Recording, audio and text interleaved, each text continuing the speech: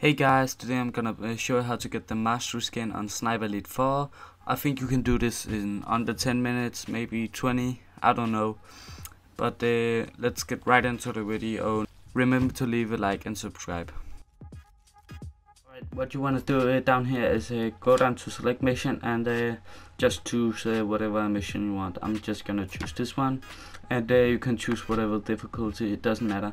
I would uh, recommend going for one of the easier ones. And then down here just has to find the guns you want to upgrade and get the mastery skin on and just start.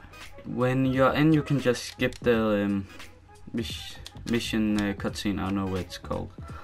And go into the mission. Alright, so uh, let's just uh, look uh, use this pistol as an example. So um, there's some upgrades, and uh, in that uh, in those upgrades you have to um, do these challenges to get the upgrades. So in recoil you get uh, have to get five penetrative kills, and um, the way you get that is through shoot through an object and into an enemy. And uh, what you want to do is find an enemy that uh, that's isolated like him and you would just want to mark him so he's easy to find. Oh I fuck I kind of fucked up there doesn't matter. And uh, let's hide right here. And uh, then you need to save the game right? And shoot him in the head. And you can just go into restart checkpoint.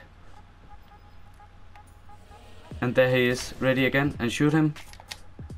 You just have to do this five times. I kind of messed up there. Let's take him out like that. Uh, as you can see in the corner it's uh, penetrative kills. Um, lo a lot of these uh, take much longer than uh, the example I just showed you because uh, some of these are like 100 headshots to get the mastery skin on this. And that's gonna take at least five ten minutes. Maybe, yeah I think five minutes. But uh, yeah that's all for today. I really hope you can use, uh, use this uh, tip you know to get the master skin and uh, catch you another time. Bye